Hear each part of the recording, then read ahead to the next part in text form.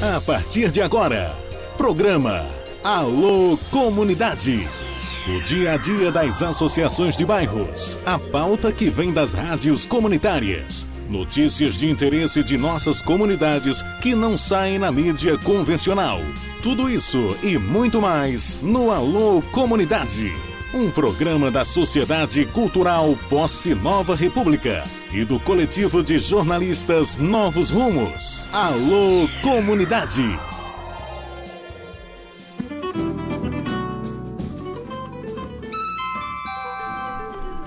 Boa tarde, boa tarde. Agora são 14 horas e 7 minutos.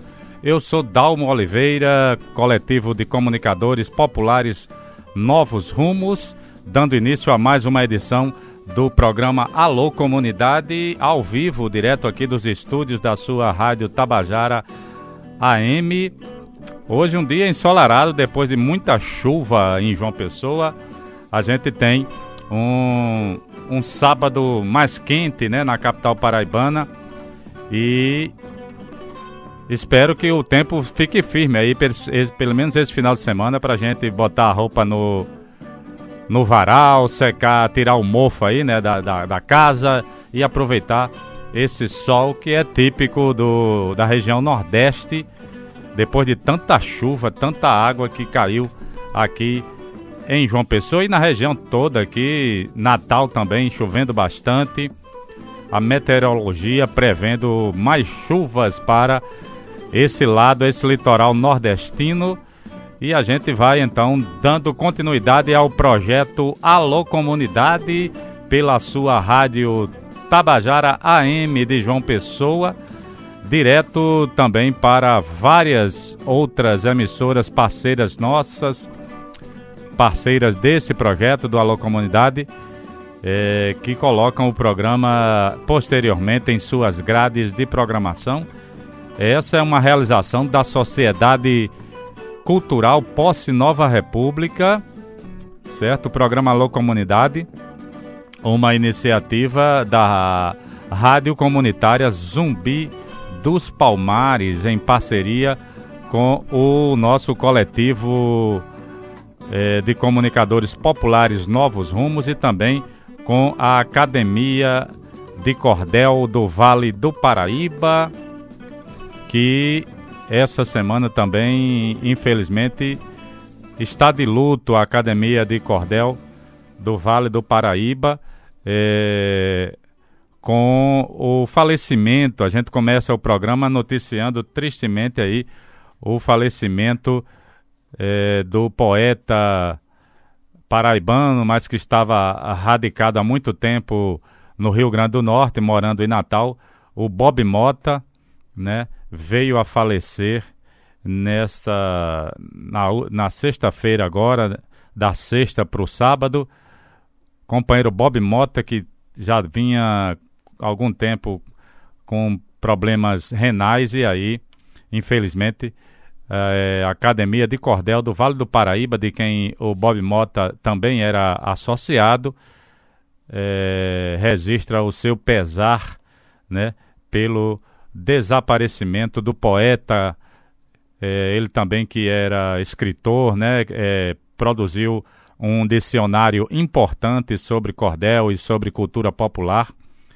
Bob Mota, que nos deixa aí, deixa a poesia matuta, deixa a poesia nordestina, a cultura nordestina um pouco mais desfalcada nesse início de julho a gente, o programa Alô Comunidade também registra aqui o falecimento do poeta cordelista Bob Mota, que é paraibano, residia há muito tempo no Rio Grande do Norte, em Natal.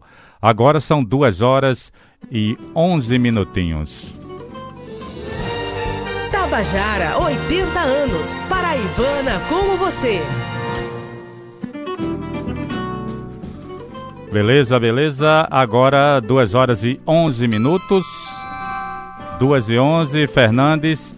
Boa tarde para você também, para os nossos ouvintes. O Alô Comunidade é produzido de maneira colaborativa, numa parceria inédita entre o Movimento Paraibano pela Democratização da Comunicação e uma emissora pública na Paraíba, a nossa querida Rádio Tabajara, completando aí seus.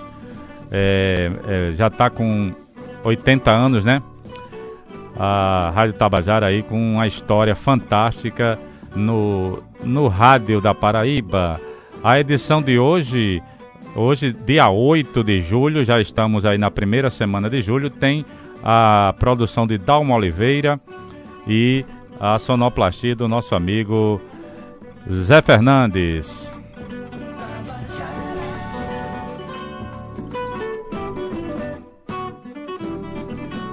Essa é a maior parceria de rádios comunitárias da Paraíba e estão conosco reproduzindo o Alô Comunidade em suas grades de programação as seguintes emissoras, nossas parceiras, é, num pool de rádios comunitárias e rádios alternativas também, a Rádio Diversidade do Jardim Veneza, Rádio Voz Popular da comunidade São Rafael, são os nossos vizinhos aqui de comunicação popular, né?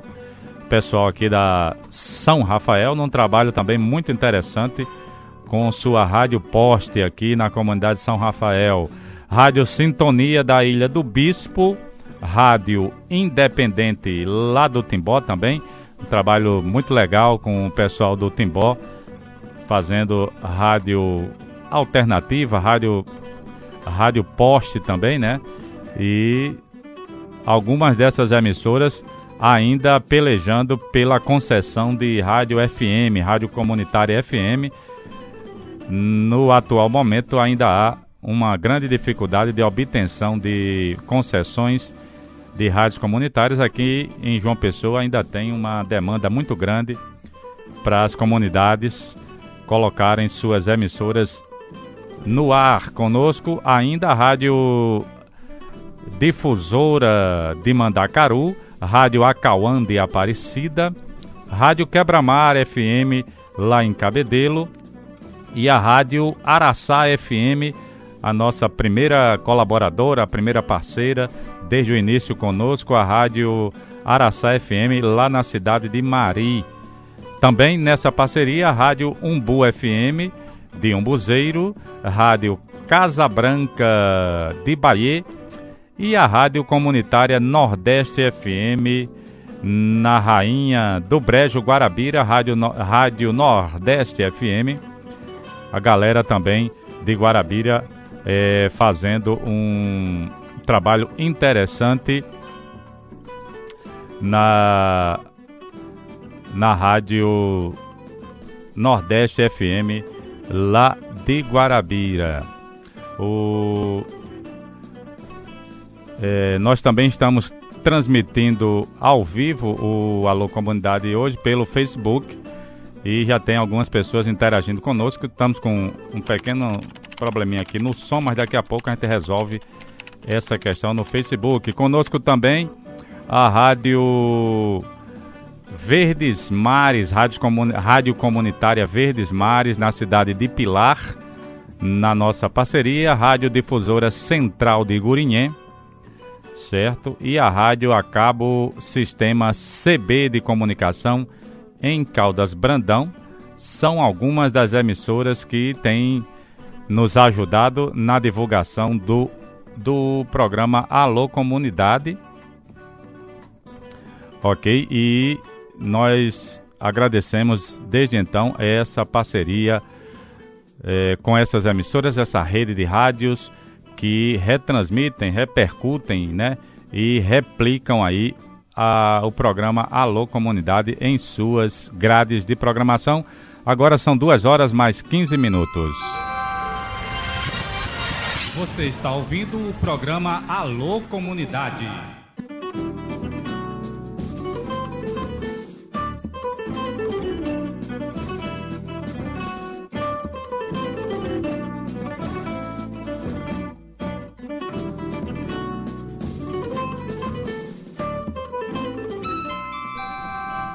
Olha, esse programa também é a primeira experiência paraibana de pós-rádio porque sua gravação estará disponível logo em seguida É, daqui para mais tarde a gente coloca a, as imagens e também o áudio no YouTube, viu?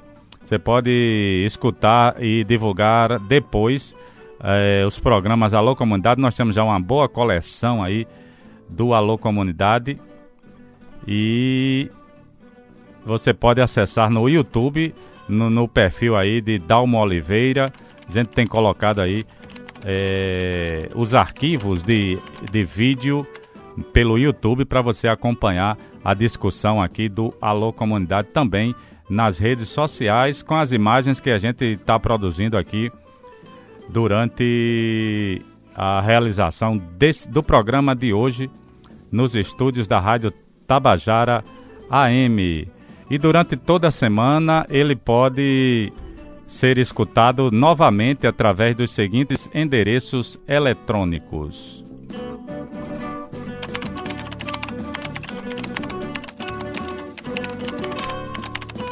Você acessa do seu computador o site, na verdade é um blog radiozumbijp.blogspot.com.br Novos Rumos Jornalistas.blogspot.com.br Tribuna do Vale Online.blogspot.com.br e também o blog do Vavá da Luz, blog do vavadaluz.com. Conosco nessa parceria você encontra lá o player da rádio Zumbi dos Palmares, rádio web Zumbi dos Palmares e pode escutar também uma boa programação musical da nossa rádio Zumbi. E mais um portal que está nos, nos repercutindo aí, você pode escutar a nossa rádio também pelo diariopb.com.br. Esses são os endereços, principais endereços onde você encontra o player da rádio Web Zumbi dos Palmares e está escutando a nossa programação durante é, o dia inteiro, quando você estiver online aí navegando no computador, na internet, aproveita e escuta aí o som da Rádio Zumbi. A gente, além dos programas noticiosos, né, nós temos também uma boa variedade musical com música principalmente música paraibana de qualidade e muita música MPB e, e essas músicas mais descoladas aí para os nossos ouvintes que estão atentos na nossa programação.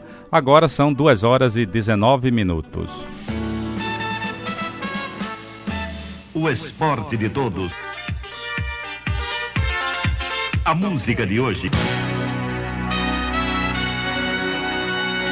A notícia de agora. Tabajara, bom motivo para se ouvir rádio. Você está ouvindo o programa Alô Comunidade.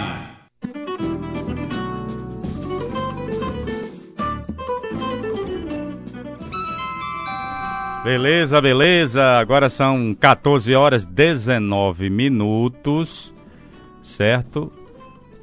2 horas e 19 minutos. Você está ouvindo o programa Alô Comunidade. É, eu sou Dalmo Oliveira, do coletivo de comunicadores populares Novos Rumos. Olha, hoje o meu colega Beto Palhano é, faltou hoje, viu? Ele está meio derrubado, pegou uma gripe aí, Fernandes. E Beto Palhano aí pediu, pediu, apresentou um atestado ao departamento médico. Um abraço para Roberto Palhano que nos escuta no conjunto do ex-ditador Ernesto Geisel. Hoje ele não vai participar, estou apresentando o Alô Comunidade sozinho hoje, né? Na companhia dos nossos diletos ouvintes. E... Também estamos transmitindo algumas imagens pelo, pelo Facebook aqui. Deixa eu mandar um alô logo para Érica, Érica Renato, Nil Pereira, Regina Marques e Carla Borba já tem gente acompanhando aqui pelo Facebook também. E a gente vai bater um papo daqui a pouquinho com Luzenira, Luzenira Linhares. Ela já está aqui conosco. É, puxa o microfone, companheira, para a senhora dar a primeira, o primeiro boa tarde aqui para os nossos ouvintes. Muito obrigado pela presença, Luzenira. Luzenira, que é sindicalista aqui é, em João Pessoa e acabou de assumir aí a direção municipal do Partido dos Trabalhadores. Boa tarde, companheira. Boa tarde, Dalma. Boa tarde, ouvintes do programa é, Alô Comunidade. Agradecer, Dalma, por esse espaço muito importante para nós podermos aqui estar tá dialogando com a comunidade, trazendo informações importantes sobre o momento político do país e bater um papo sobre o que interessa de fato a, a sociedade, as comunidades que nos é, escutam aí. É, entendemos que esse é um espaço muito importante. Né? Rádio nunca vai perder a sua importância, porque para mim é um do, do, da luta que a gente tem pela democratização dos meios de comunicação, a gente acha que a rádio é um, é um instrumento, um meio para que as pessoas possam trazer as suas dificuldades, seus problemas, enfim, para que a gente reflita sobre o que é democracia, é, o, o, direito de ir e vir, enfim, um, um, espaço que a sociedade precisa utilizar muito bem.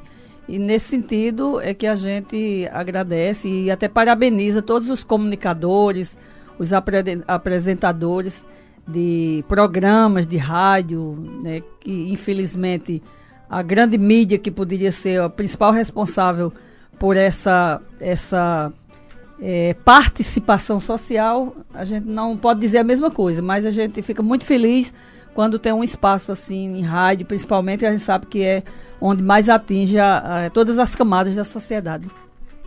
Ok, a gente. Agora são 2 horas e 23 minutos. Você pode seguir também o, o Alô Comunidade é, pelo Twitter. Nós temos uma, um perfil no Twitter também é o, o perfil arroba Alô Comunidade PB lá no Twitter, onde a gente coloca algumas novidades do programa e né, atualizando aí os nossos ouvintes nas redes sociais.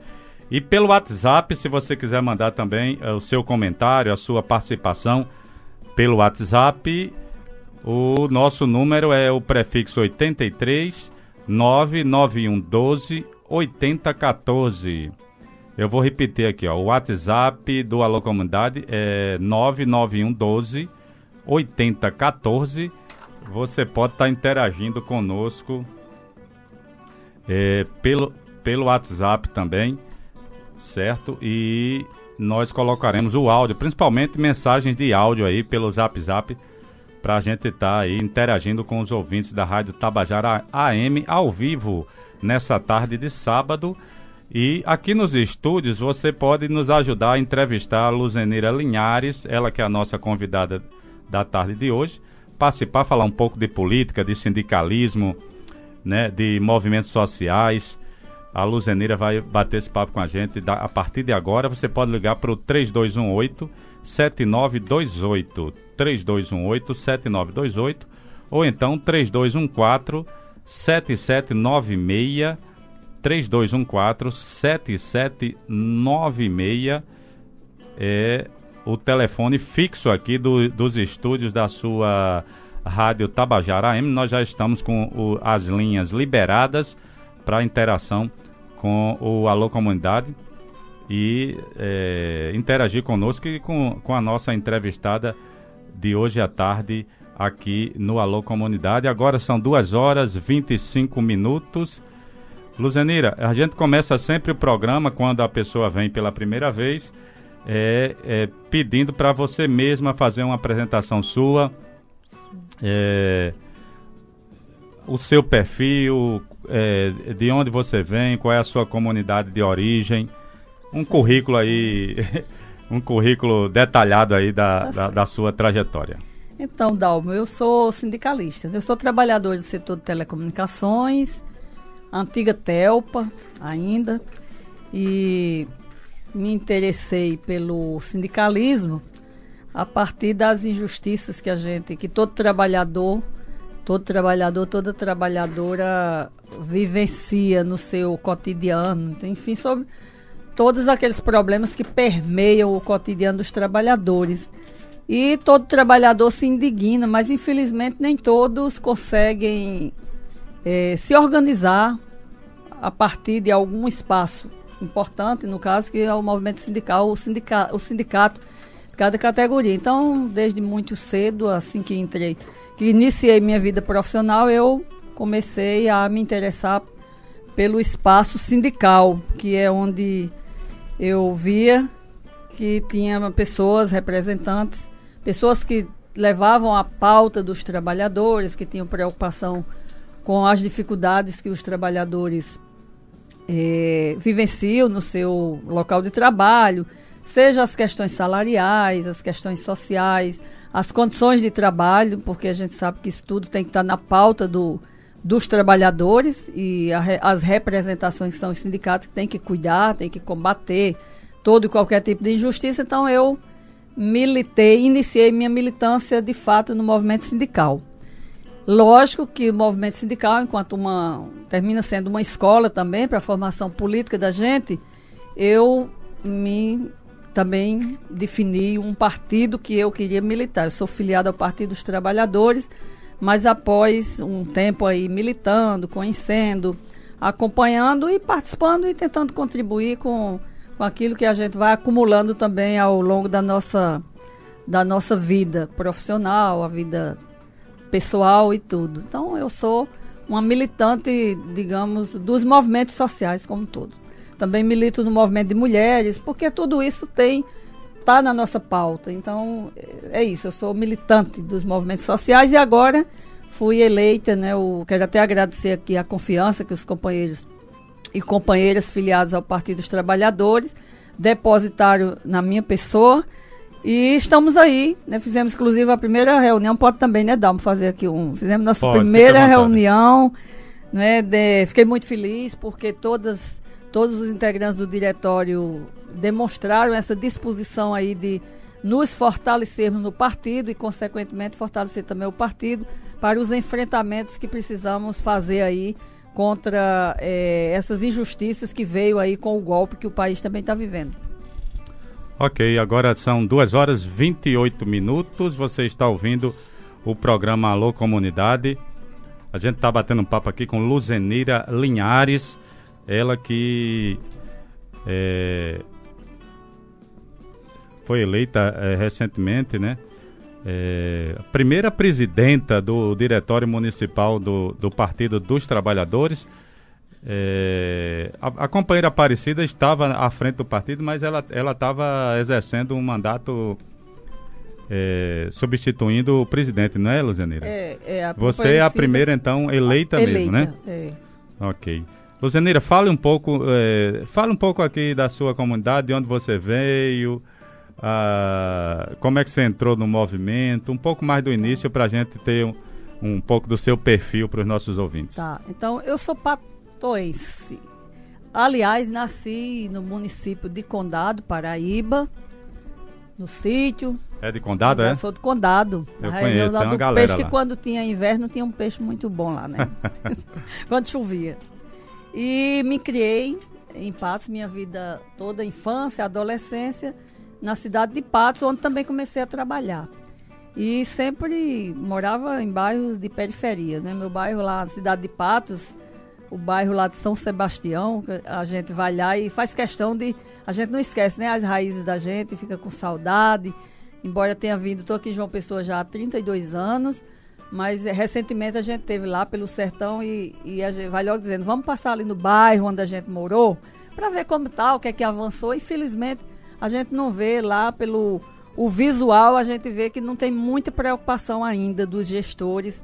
É como em todo canto, né? Como em todo lugar, né? Sempre termina que alguns bairros, em vez de é, aquela preocupação que deveria ter com a urbanização, com as condições é, necessárias para que a comunidade viva bem feliz lá na sua no, onde mora, mas infelizmente não vê muita coisa não, mas bateu uma saudade danada, Dalma.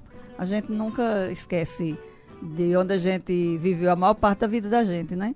É, e aqui em João Pessoa, você viu quando, qual foi, o que é que ele trouxe para a capital? Então, eu, o que me trouxe para a capital, um pouco o que acontece com a maioria das pessoas que não vê muita perspectiva nas suas cidades do, do interior do estado e do país. E viemos porque é uma família muito grande e a gente sempre, eu sempre estive no, nas camadas menos favorecidas da sociedade. E precisa batalhar a vida, precisa arrumar emprego. E nas cidades grandes a gente sempre imagina que tem mais oportunidade. Então a família veio para João Pessoa, até, até primeiro, né? Eu fiquei ainda um ano lá e para batalhar emprego mesmo, estudar e trabalhar. E eu vim para cá também em 82, porque comecei a trabalhar em 80, em dezembro de 80, data importante também na vida da gente. O, o primeiro emprego a gente é, também nunca esquece, é. né? Então foi por isso. O objetivo de vir para a cidade grande, para a capital, foi na, com a perspectiva de é, conseguir melhores dias, trabalhar, estudar e viver e, sonho, e realizar um sonho que todo mundo tem, que é ter uma vida melhor, vida mais digna. Aqui você, a família se estabeleceu aonde, Luzineira? Inicialmente a gente veio morar em Mandacaru e depois viemos para Torre.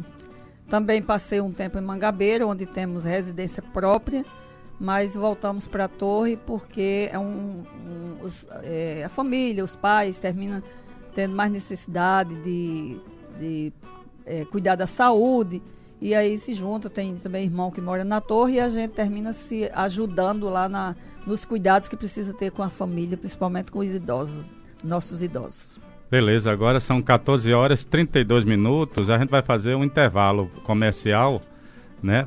E daqui a pouco a gente continua o papo com a companheira Luzenira Linhares. A gente está falando um pouco aí de política, de sindicalismo e essas coisas, coisitas mais. No, daqui a pouco a gente volta discutindo um pouco mais e algumas notícias aqui do universo de, de rádios comunitárias. Não saia da sintonia. Você está ouvindo o programa Alô Comunidade. Para participar é só ligar 32147796 ou 32147797. Rádio Tabajara, 1110 kHz, a rádio da Paraíba. Nota: Justiça Eleitoral. O Tribunal Regional Eleitoral da Paraíba convoca todos os eleitores do Estado que ainda não fizeram a sua biometria para comparecerem ao cartório eleitoral ou posto de atendimento mais próximo de sua residência, portando o seu título de eleitor, comprovante de residência dos últimos três meses e documento de identificação originais para atualização do seu cadastro eleitoral. O não comparecimento implicará o cancelamento cancelamento do título de eleitor e sanções legais previstas no artigo 7 do Código Eleitoral Brasileiro, entre as quais o bloqueio no recebimento de vencimentos, remuneração, salário ou proventos de função ou emprego público, impossibilidade de renovação de matrícula em instituições públicas de ensino, obtenção de passaporte ou carteira de identidade e outras sanções. Consulte o endereço do local de atendimento de sua cidade no site do TRE-PB www.tre-pb.jus.br. Evite filas, não deixe para a última hora. A Justiça Eleitoral agradece. O IPVA mudou. A partir de 1 de janeiro deste ano, o Detran passou a adotar o sistema de acesso ao IPVA que já funciona na maior parte do país. As informações passaram a ser disponibilizadas diretamente por meio da Secretaria de Estado da Receita. Você pode emitir seu boleto no site da Receita Estadual, receita.pb.gov.br. Na extração especial de férias do Paraná de Prêmios, são carros que não acabam mais! No primeiro, no segundo e no terceiro prêmio, um gol completo, quatro portas para cada premiação. Agora no quarto prêmio são dois gols de uma só vez. E mais dez rodadas da sorte de mil reais. Todos esses carros por apenas dez reais e um deles pode ser seu. No Paraíba Prêmios, na extração especial de férias sorteio, dia 9 de julho. No melhor som, com muito mais música e no esporte com o Scratch do rádio. Tabajara, bom motivo para se ouvir rádio. Para participar é só ligar 32147796 ou 32147797. Você está ouvindo o programa Alô Comunidade. Beleza, de volta. Agora são 2 horas 36 minutos. Você está ouvindo o programa Alô Comunidade. Eu sou Dalmo Oliveira. É, a gente vai com a, a, comunicação aqui na Rádio Tabajara M até às 15 horas no programa Alô Comunidade. Tem uma notícia aqui é, que eu gostaria de compartilhar com os ouvintes da Alô Comunidade. Luzenira, embora tenha avançado na redução da situação da pobreza, com mais de 72 milhões de pessoas saindo desse nível desde 2003, a América Latina e o Caribe continuam sendo as regiões com maior desigualdade social do mundo.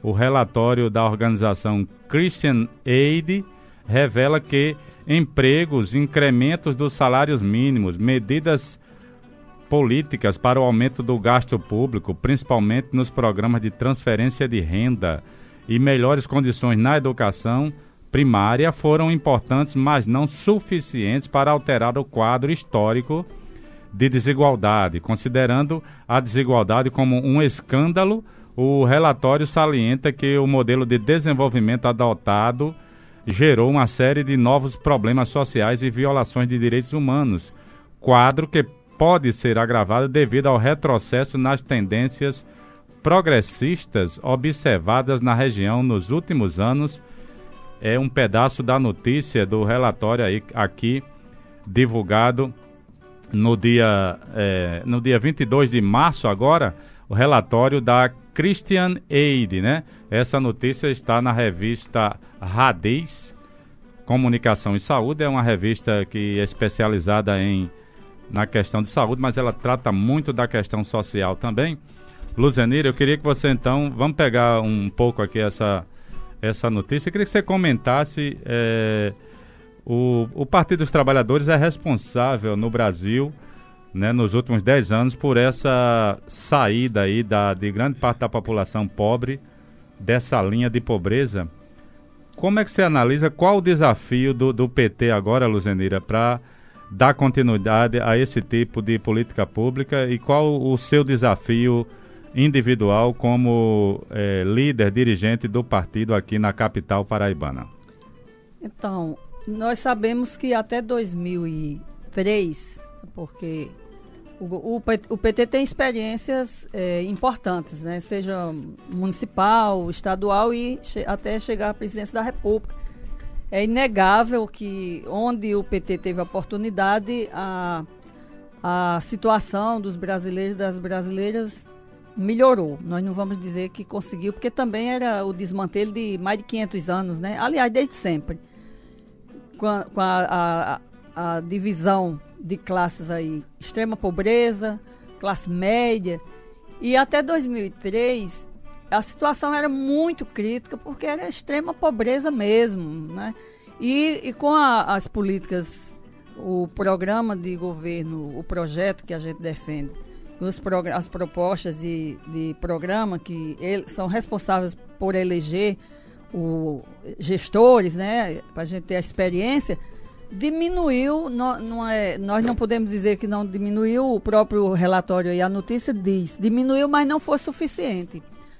Porque o que a gente pode dizer que, que, que é fato é que não teve distribuição de renda. É o que a gente defende, distribuir renda, distribuir melhor a riqueza, para que todos tenham oportunidade, tenham o mínimo para viver bem, viver com dignidade. Estudos, o próprio DIEESE, que é um, um, um instituto que, que estuda isso aí aponta que não, não teve distribuição de renda e a gente não pode dizer que teve distribuição de renda. O que teve foi transferência de renda. Nós temos o papel, temos o dever de continuar propondo para que esse quadro, essa realidade mude. Agora a gente vai dizer, foi importante a transferência de renda? Foi, porque milhões saíram da, da extrema pobreza e conseguiram também é, ascender de uma classe, não é, não é não chegar à classe média, mas pelo menos conseguir se colocar em um outro nível né, de, de, da, da escala aí da, da, dos degraus, de, que eu vou chamar assim. de classe social. Outro patamar, né? Outro patamar, no outro patamar. Então, a fome diminuiu, a miséria, a extrema pobreza. Então, é por isso que a gente entende que teve, que foram significativos as medidas, as iniciativas que nós podemos é, oferecer para a sociedade, podemos propor. Então, isso é, um, é uma questão. Mas a gente também entende que com essas pequenas mudanças, esses pequenos avanços, começou a incomodar muito, vou chamar de a burguesia, não vou nem chamar de direita, porque direita e esquerda, nós, vamos dizer assim, cla as classes dominantes, quem detém o poder econômico, quem detém o poder político, começou a se incomodar muito com essa melhoria na qualidade de vida das pessoas. Todos nós sabemos que Vou dar exemplos bem pequenos. É, um setor muito importante que são as mulheres, a, a, a sociedade, as trabalhadoras domésticas, as mães de famílias que muita, muitas vezes deixaram seus filhos sem cuidado nenhum ou cuidado por vizinhos, parentes próximos, tudo mais, para ir cuidar dos filhos dos outros sem a contrapartida financeira que ela precisa para até para valorizar o seu trabalho, porque é um setor importante para a economia é, para o fortalecimento da, da economia do, do, país. Todos nós, porque imagina, quem vai cuidar dos nossos filhos para a gente ir também trabalhar e contribuir com a acumulação de riqueza do capital, que é essa riqueza que a gente quer que seja distribuída, bem distribuída. Então isso, a partir de 2003 a gente começou começou a ver que as iniciativas do, do governo de Lula e depois da presidenta Dilma contribuíram muito para que essas pessoas pudessem ter uma, uma qualidade de vida, uma forma de viver diferente. Isso tudo começou sem continuar com sem, sem, é, sem contar com os avanços também que teve na questão da educação, universidades, institutos de, de educação federal, as escolas técnicas, tudo isso contribuiu também para que as pessoas conseguissem é, caminhar na perspectiva de exercer o seu papel de cidadão, de cidadã, ser sujeito da história. Então isso começou a preocupar muito, começou a preocupar muito e aí começaram a ficar impacientes com esse tempo todo aí de avanço, que a gente pode chamar de avanço. E aí foi quando começou o, essa reviravolta aí, essa, esse ataque aos direitos dos trabalhadores e das trabalhadoras conquistados ao longo de muitos anos e com muita luta, suor e até sangue, e a gente sabe disso.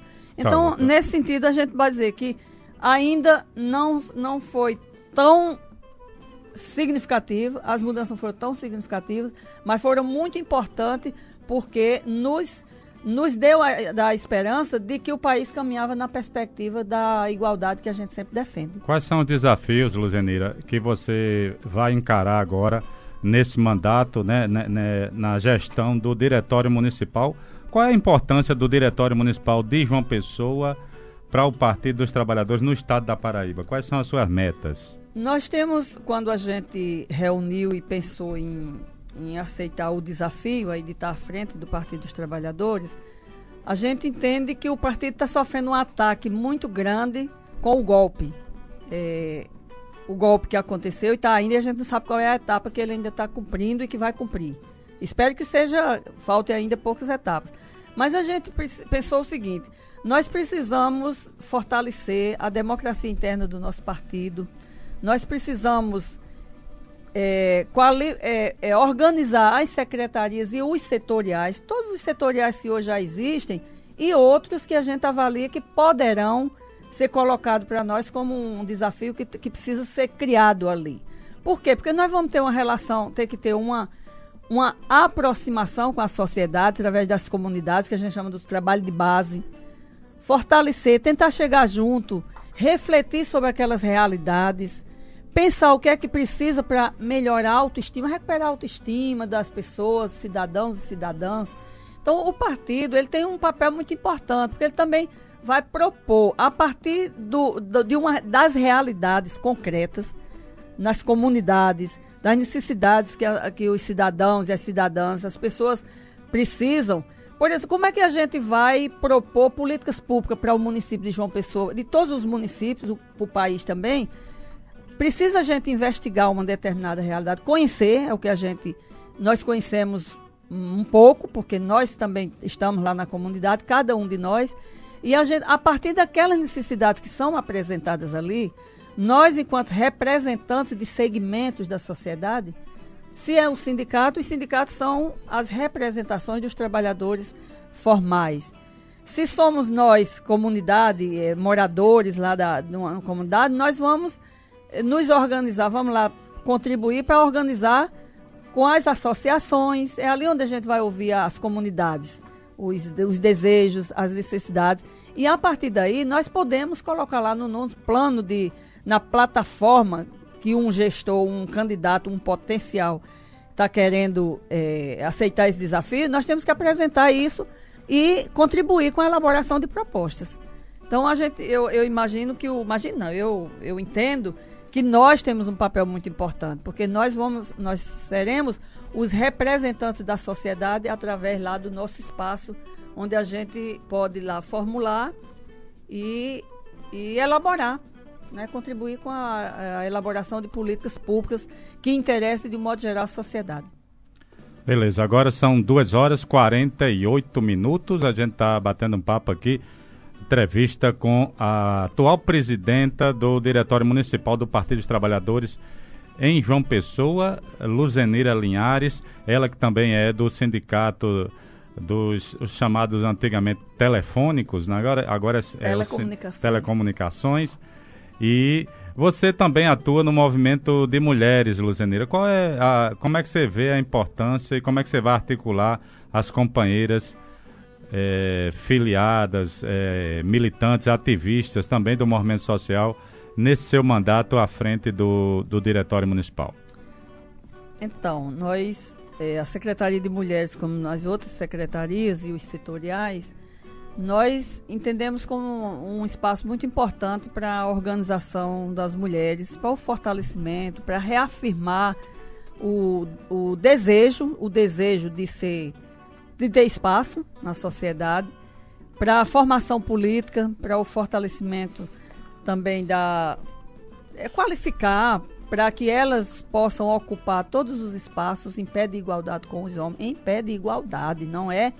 Quando as mulheres se organizam e, e defendem que querem estar nos espaços de, de poder, de decisão, espaços importantes da sociedade, porque a sociedade brasileira, a maioria é composta por mulheres. A maioria da, dos brasileiros, das, das, brasileiras, acho que 52%, se não me engano, enfim, é a maioria de mulheres. No mercado de trabalho, já quase 50%.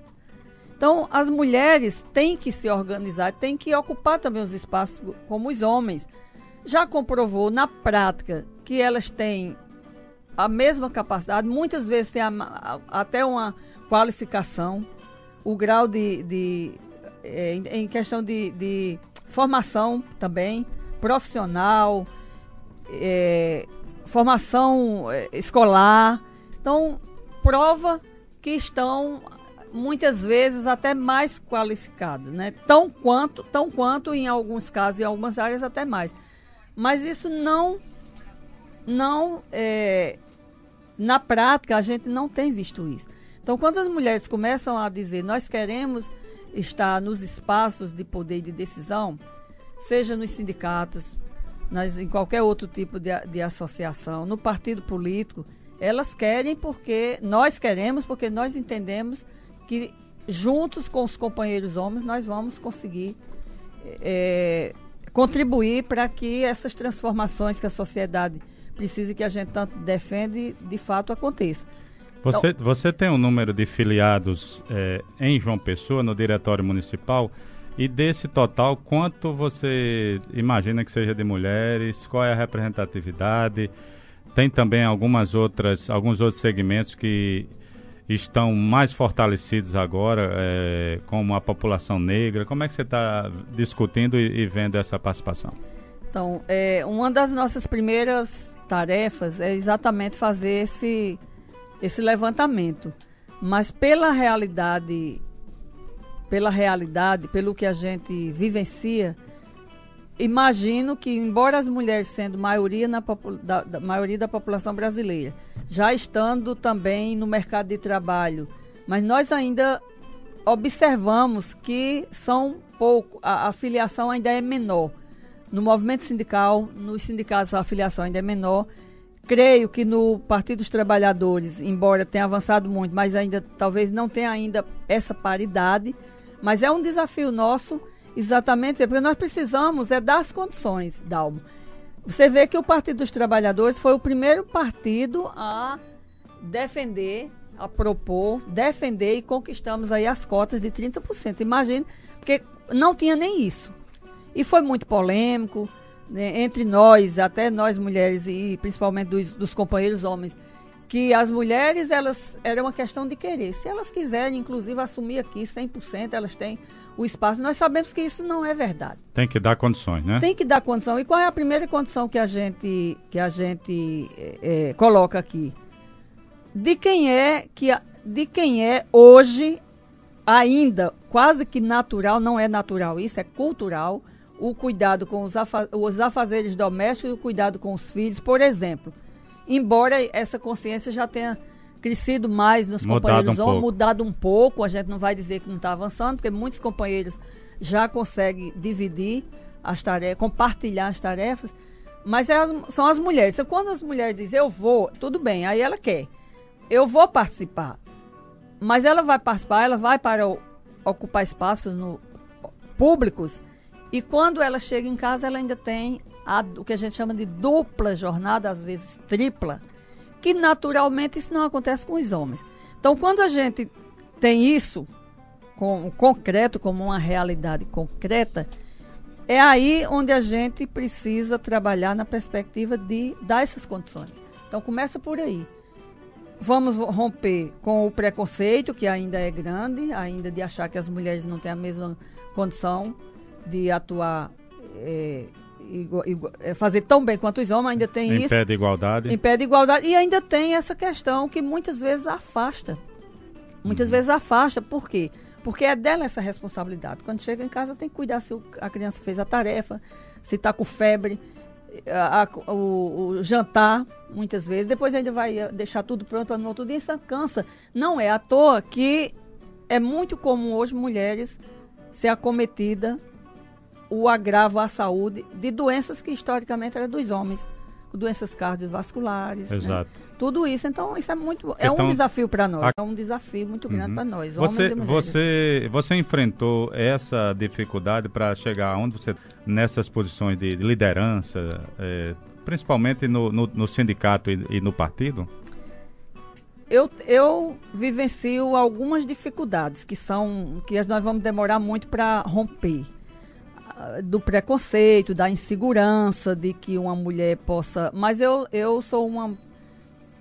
Talvez um pouco, vou fazer uma exceção, porque se eu disser assim, fica parecendo que eu estou dizendo que eu não tive dificuldade. Sei, tive. Privilegiada. Eu tive, eu tive um certo, não sei se eu vou chamar de privilégio, ou, ou não sei como é que eu chamo. Eu não, não sou mãe, né? eu não, não, não sou mãe, nunca tive filho. Certo, certo. E, e, a, e também nunca conviv, tive um, uma vivência, uma convivência eh, com. Ma, não casei, não me casei. Certo, eu chamo, marital, não, marital. Eu não tive.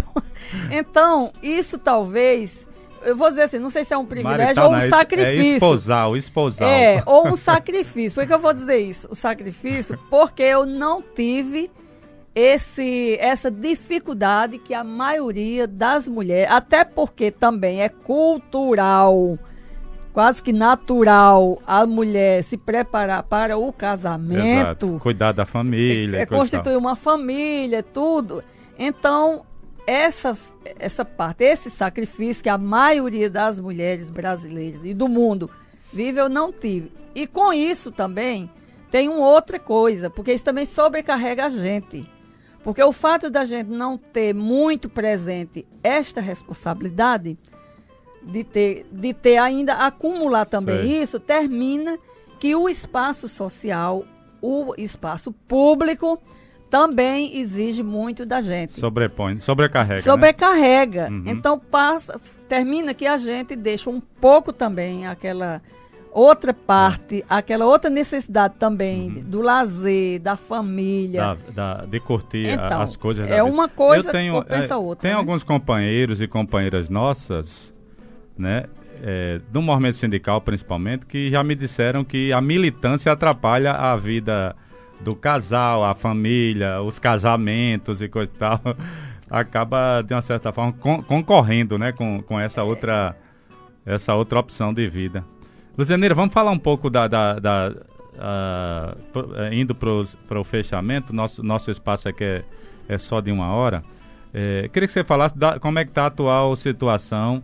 É, a gente acompanhou aí pela imprensa é, algumas, algumas disputas internas no partido. Como é que, você, que você pretende ajudar o Partido dos Trabalhadores a superar essa fase depois do PED, né, que foi o processo eleitoral que ocorreu agora.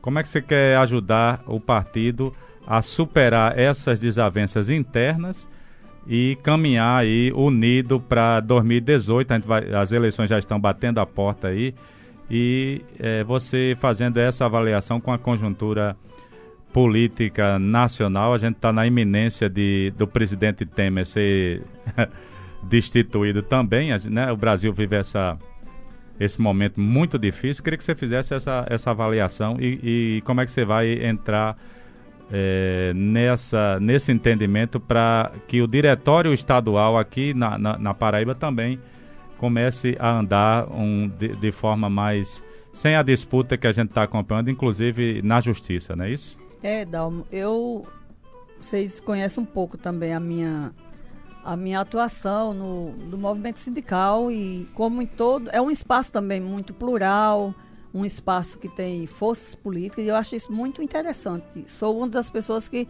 sempre entendi como saudável isso porque são pessoas que pensam diferente o objetivo é um só né que é lutar por uma sociedade mais justa mais fraterna também e temos dificuldade porque pensa diferente. Mas, por outro lado, se consegue construir é, projetos muito mais sólidos, é, que vai contribuir muito para o que a gente quer. De minha parte, eu acho que a gente pode chegar no, pode conversar. Tem, tem, tem que ter diálogo. A gente tem sempre dito onde a gente, hoje mesmo a gente conversou lá no nosso espaço, Hoje foi a primeira reunião oficial, foi, né? Foi, hoje foi a primeira reunião porque nós estamos aí finalizando... Do Diretório Municipal. Isso, primeira reunião oficial, porque nós estamos é, aí trabalhando, finalizando a formação da executiva. O diretório está tá, tá composto já, mas a gente fez essa primeira reunião. E é aquilo que a gente conversava ali.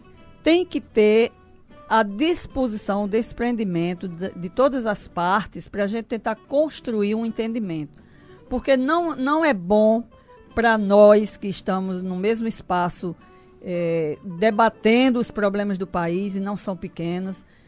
E temos a responsabilidade de fortalecer o partido pra, para o enfrentamento que vai ser sempre, mas nesse momento de golpe que o país vive, mais do que nunca, nós temos que estar unidos, fortalecidos. Então, quando a gente diz fortalecer a democracia interna e a unidade do partido, nós temos esse desafio é o principal nosso. E eu acredito, da nossa parte, inclusive fiquei muito feliz porque foi demonstrado isso por todas as forças políticas e tenho conversado também com o companheiro Jackson, que é o presidente estadual, estadual do, do, do, do diretório estadual do PT, e tem tido essa disposição, tenho sentido essa preocupação. Não vou dizer que o fato de ter judicializado, que você foi você que trouxe essa palavra aqui. Não, eu entendo que é, é, é um direito, não vou aqui é, criticar por isso, mas eu, eu entendo que o caminho do diálogo, e a gente, quando esgotar todas as possibilidades de, con, de construir no diálogo entre nós, eu acho que isso fortalece. Uhum. Porque nós sabemos que o que sai para fora do partido, o que extrapola as fronteiras de qualquer espaço, no caso nosso, o partido. Internas, né? Gera especulação, gera, como é que a gente chama? Mal- Sensa- mal-estar. Sensacionalismo, mal-estar.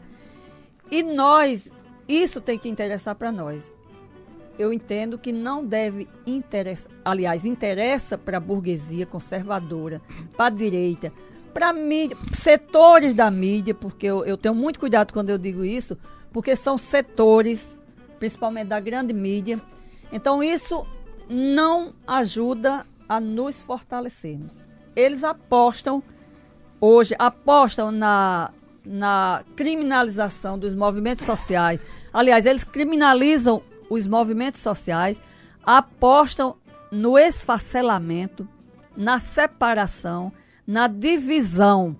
E nós não podemos fazer qualquer movimento que vá fortalecer tanto esse entendimento quanto eh, nos, nos enfraquecermos.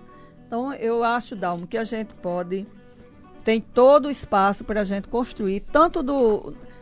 Vou até adiantar aqui o que eu converso no- também com o pessoal do diretório estadual, tem essa disposição do companheiro Jackson, e eu acho que é urgente essa nossa tarefa. Da minha parte, você pode ter certeza, eu prefiro construir os entendimentos após o debate interno nosso, por mais doloroso que seja, por mais antipático que seja, sejam as posições, mas eu acredito que aquelas posições que são estão tomadas após um debate, mesmo que não seja um consenso, mesmo que seja no voto, que também é uma forma de decidir.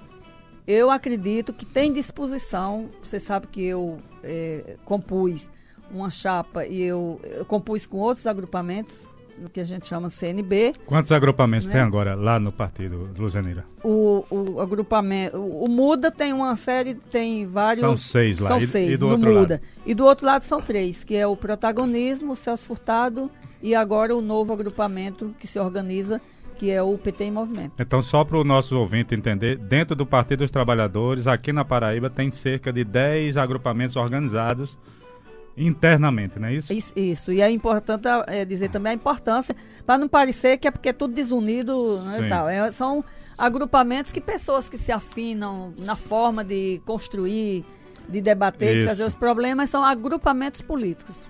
Olha, tá acompanhando a gente também pelo Facebook Nini Soares, Mabel Dias e o meu amigo Aurício Fumaça nos, nos acompanhando aqui também pelas redes sociais. Agora são 3 horas e 4 minutos. A gente tá partindo para os finalmente, Fernando. Você me dá mais 5 minutinhos para a gente terminar essa conversa interessante com a presidenta do Diretório Municipal do Partido dos Trabalhadores em João Pessoa, Luzenira Linhares.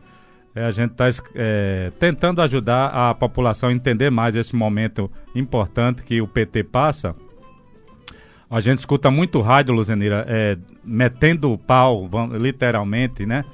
No, no partido por conta das últimas, das últimas conjunturas e coisa e tal distorcendo muito também a questão do partido e a gente vê pouca oportunidade do partido se expressar com alguma legitimidade, com alguma eh, de forma mais franca com, né, com a população e com seus filiados também.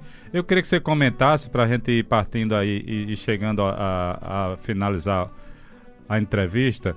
O, essa semana houve um episódio aqui em João Pessoa numa emissora, né? E a consequência disso foi que o, o ex-presidente Lula concedeu uma boa entrevista, uma grande entrevista também numa outra emissora para dar uma resposta às acusações que ele sofreu eh, no outro sistema de comunicação. Eu queria que você falasse da entrevista do, do presidente Lula e, e da importância gente democratizar os meios de comunicação, porque me parece que esse foi um problema de acesso à comunicação que o PT eh, não tem e quando tem é de forma distorcida é para prejudicar a imagem do partido. Como é que você avalia todo esse cenário da- do direito à comunicação, Luzenira? E a gente, esse é um programa que fala muito de rádios comunitárias, né?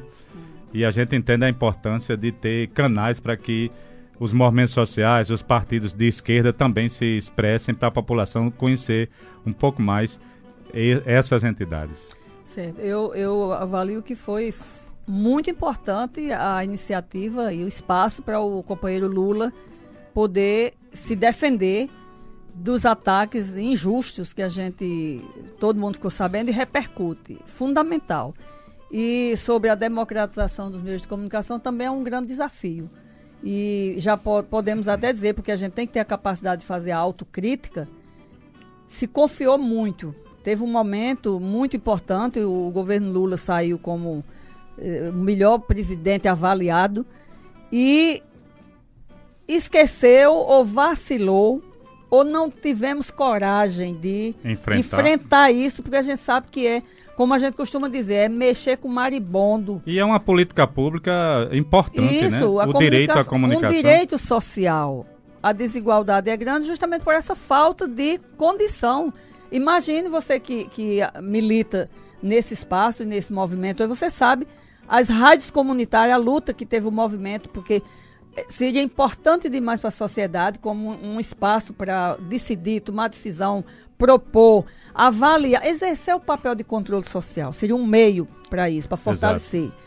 E, a- e se a gente não, infelizmente, como não foi, demo- não deu nenhum passo para a democratização da comunicação, o marco regulatório, tudo aquilo que precisava ser feito, tá aí o resultado. O golpe, nós sabemos o golpe. Você acha que o golpe foi, foi mais midiático do que Eu qualquer acri- coisa? Acredito, eu vou dizer que 50% pelo fato da presidenta Dilma ser uma mulher. Certo. 50% se eu digo isso e debato onde for preciso, a misoginia, o preconceito, a forma que ela, como ela conduzia, sem os acordinhos, sem a simpatia, sem os, isso e aquilo que, que, que gostam. Bloqueando Os- a os- corrupção. os ga- bloqueando a corrupção. bloqueando a corrupção, sendo firme no, no- no que precisa ser feito, que a gente. Pra, justiça para ser reta começa de casa, então, tudo isso. Os 50%, aí vamos dividir os 50%. É, isso é das minhas contas. Certo. Midiático, porque a gente considera que o golpe é ju- parlamentar, jurídico e midiático. Midiático, jurídico, essas três coisas. O fato de não da, da comunicação estar concentrada numa mão de poucos Exato. a gente sabe que isso também contribui muito, porque sai o que interessa para sair para a sociedade. E do jeito que e interessa. do jeito que né? quer. Você lembra, todos nós lembramos, que ganhou a opinião do povo, da sociedade, que era para moralizar, para acabar com a corrupção. E nós sabemos que o, o governo, onde abriu, é, é, demonstrou a vontade, o interesse de- das iniciativas de combate à corrupção, foi no governo Lula. O lixo começou a sair por debaixo do tapete e foi onde todas as instituições brasileiras funcionaram, Polícia Federal, Ministério Público, tudo, até a Procuradoria-Geral da República, que tinha o nome de Engavetador-Geral da República, Exato. funcionar. Então, com isso, fica parecendo para a sociedade que a corrupção aumentou. Não.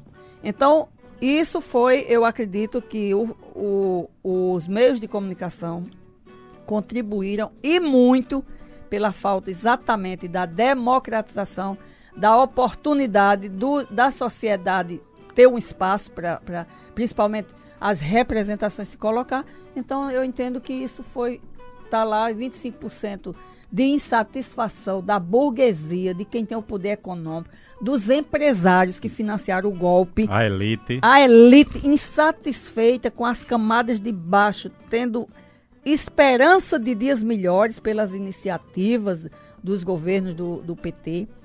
25% foi disso, que é os financiadores do golpe, e 25% a comunicação que poderia ter sido democrática, que a gente vacilou. Perdemos uma grande oportunidade de caminhar, de dar passos importantes aí para a democratização dos meios de comunicação. Mas isso não deve ser motivo de desistir. Nós, independente, esperamos que tema, como você falou aí, esteja- os dias estejam contados. Parece mas independente disso, Dalmo, é uma bandeira que a sociedade brasileira e os movimentos sociais devem eh, ter essa questão da, do fortalecimento aí da, da luta pela democratização dos meios de comunicação. Ok, eu vou mandar um abraço, um alô para Gerry de Oliveira. Ele está em Campinas, lá em São Paulo, acompanhando a gente pelo Facebook. Gerry é um grande ativista do, de rádios comunitárias. né? Nessa última greve, ele, ele proporcionou uma cadeia praticamente nacional de rádios comunitárias, cobrindo vários aspectos da greve nacional. Através das rádios comunitárias com a visão totalmente diferente do que ocorreu naquele dia. Luzenira, eu queria que você então tá, é, finalizasse convocando os nossos ouvintes e o pessoal que está no Facebook acompanhando. Vai ter no dia 21 agora uma mobilização, uma manifestação pelas diretas já. Isso. Fale um pouco então, disso para a gente é, encerrar. Dalmo, agradecer assim, a oportunidade, esse espaço muito importante para a gente estar aqui trocando ideias, batendo papo e convidar aí todos os ouvintes, toda a classe trabalhadora, os movimentos sociais organizados. No dia 21 agora tem, tem inclusive está tendo plenárias lá na FETAG, na CUT, em, em outros espaços que a gente está definindo, está tendo constantes é, reuniões com setores. Sexta-feira foi com os jornalistas. A gente até chama, aproveita para convidar os jornalistas que se identificam com essa, com essa luta e que quer fortalecer para se juntarem nesse, nesse agrupamento, vou chamar de agrupamento. E está tendo plenárias e dia 21 nós esperamos seja um ato tão grande, tão importante quanto o de Monteiro, que para mim foi a manifestação pública mais bonita que eu já fantástico, participei na minha vida. E nós temos aqui uma, uma expectativa muito boa de que dia 21 a gente coloque aqui, não 100 mil, porque vai ser o estado todo também, mas no país, a, a, a Paraíba, que é que tá, eu acredito que é a primeira é, iniciativa aí de chamar esse, essa, esse, é, esse ato político-cultural para que a gente os possa... Os artistas também, né? Os artistas. Radialistas. Então gente, Tem radialista que também está é, fazendo então, um bom trabalho. Os artistas, né, todos os movimentos aí pela, da cultura e toda a sociedade, trabalhadores, em geral, seja com vínculo formal ou não, mas a gente quer a sociedade toda, todos os segmentos representados nesse ato. Estudantes, juventude. É, inclusive chamar para se agregar também ao, ao, às atividades de organização.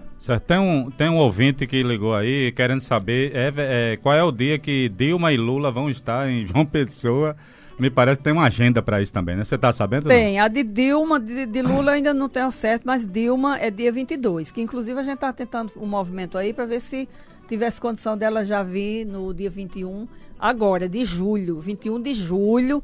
O ato já está programado para as 14 horas no Vai ponto de 100 ponto réis. 100 réis a tarde toda e o dia todo e daqui até lá estaremos em todos os espaços que for possível para estar tá chamando a sociedade, convocando, por isso que a gente não pode perder essa oportunidade aqui de já convidar para que as pessoas não participem, mas se puder também se Dia agregar 22, na organização. Dilma Rousseff vai Tem estar... uma agenda, qual é a agenda dela? Não estou com a agenda dela Não, mas qual não. é o motivo? Você sabe não? Não, não ainda não, não assim, não está não, não tá, tá fechado, não, não tá fechado não, certo. mas sabemos que tem essa vinda dela e a, presidente, a nossa presidenta do PT nacional vai estar aqui no dia 21, já está confirmado. A Gleisi Hoffmann, né? É. O, o Lula anunciou na entrevista que ele deu para a Rádio Arapuã que estaria em agosto aqui. Em agosto. Então, é. a gente vai ficar para dessa gente quando tiver definida o tema e o, o roteiro, inclusive, aí a gente vai estar divulgando no, em todos os meios que a gente tem para se comunicar. Facebook, até rádio também, chamar a gente. Nós vamos, vamos queremos ter uma agenda bem cheia de rádio e espaços aí, viu, Dalma? É Você importante. articule aí para que a gente possa se dividir, que são muitas pessoas. Eu queria que você fizesse um chamamento para a gente encerrar. As pessoas que não conhecem o PT é, devem procurar é, a sede, o telefone. Como é que faz para entrar em contato com o partido, Luzianira? E, e tirar essas dúvidas, conhecer o partido, né? Isso. Se quiser se filiar, como é que faz? Então, Para a gente encerrar essa entrevista, agradecer a sua presença, viu? A gente avançou um pouco hoje. Quando não tem futebol aqui, a gente está recebendo uma certa permissão da direção da rádio para avançar além das 15 horas, mas a gente já estourou o nosso horário. E agradecer a Zé Fernandes, que está no, no controle ali, e nos orientando do horário que a gente tem. Então extrapolamos um pouco hoje, mas é sempre importante a gente estar tá fazendo essa discussão. E sempre que tem um tempinho, a gente avança um pouco aqui no Alô Comunidade. Como é que o, o a pessoa interessada em conhecer o partido deve proceder? Então, deve, deve. Normalmente conhece alguém que é do PT e a gente está sempre. A gente anda com as fichinhas de filiação na bolsa, na pasta. Entra na página do PT, se quiser se filiar, pode filiar diretamente. Online? Online, tem lá o, o, o link, o SORG, né, o, o espaço lá, SORG, que é Secretaria de Organização. E pode fazer a filiação online. Inclusive, dá, muitas pessoas estão se filiando. É. Houve um aumento, não foi incrível? Houve, é. houve aumento. Inclusive, a gente, agora no Congresso da CUT, um, o, o professor Artigas foi o palestrante, foi fazer uma análise, uma hum. belíssima análise de conjuntura, e ele levou o golpe, que é um golpe e que tinha motivos muito claros. Então, a gente fica muito feliz com isso, aproveita para chamar as pessoas para conhecer melhor Fica ali, provisoriamente ainda na Francisca Moura, né? Aquela rua. A Francisca Moura Francisca com a Coremas, né? É, provisoriamente ali Coremas, com Francisca Moura com Coremas. E tem uma sede própria, né? Nosso partido Isso. vai. É fácil de encontrar, é naquela rua paralela ao antigo Jornal Norte. Isso. E na página também, e, e no, na página do Face, o, não é tudo isso. Certo. E a gente o, aproveita o... e convida para filiar, porque vai pra... fortalecer o partido que mudou a história das, dos brasileiros e das brasileiras. E vai mudar país. ainda muito mais. É. Luzenira, é, só, é, só para um, um, esclarecimento, o jovem que não tirou o título eleitoral, ele pode se filiar ao Partido dos Trabalhadores? Ou tem que ter o título? Dos 16 anos. É? Já pode se filiar. Já pode, né? É, porque necessariamente ele não tem que votar, porque não é obrigatório o voto aos 16 anos, né? Ele Sim, é, mas já pode participar. Já pode participar. É. A juventude petista geralmente se filiam a, a, partir dos 16 anos, já estão filiando aí. Para nós é muito importante, porque é um público novo que a gente precisa, que é outro desafio, Dalma, é a gente é, atrair de novo a e né? fortalecer, né? porque precisa ir formando quadros novos para ir substituindo. Renovando, exatamente. 3 horas e 18 minutos, 15 horas e 18 minutos. Nós estamos ao vivo na Rádio Tabajara AM, programa Alô Comunidade. Hoje demos uma estendidazinha porque está tendo um, uma brecha aqui no, fut, no futebol e vamos aproveitar essa, essa lacuna. Não é lacuna, mas a gente consegue um tempinho a mais na programação da Tabajara AM. E mandar um alô também para Rosilda Ferreira, ela entrou também, está nos acompanhando aqui pelo Facebook, pessoal. Agradeço a audiência de todas e de todos. No próximo sábado vai estar aqui no, no, nos microfones do Alô Comunidade o companheiro Fábio Mozart, ele que traz a pauta de cultura, de cordel, de, de cultura popular para os ouvintes da Rádio Tabajara M. Luzenira, muito obrigado pela presença mais uma vez, viu? E Obrigada o Alô Comunidade está sempre disponível para informações de interesse da comunidade. Sempre que tiver um informe nessa área que você queira divulgar conosco, pode dar uma ligada para esses números que a gente divulgou aqui no início do programa. A gente abre sempre uma linha de comunicação para os companheiros dos sindicatos também, informações dos sindicatos e das comunidades de um modo geral. Essa é a bom. função do programa Alô Comunidade. Tá, nós que agradecemos, Dalmi. Certamente vamos querer aproveitar esse espaço. Ok, podemos ir, seu Fernandes. Obrigado pela paciência. Obrigado a todas e todos. A gente volta com a Alô Comunidade no próximo sábado a partir das 14 horas. Até lá e um, um bom final de semana, aproveitando o sol que voltou, né? É, dessa estiada que deu aí. Esperando o tempo firme aí para a gente aproveitar esse finalzinho de semana. Boa tarde a todas e todos. Fernandes, até a próxima.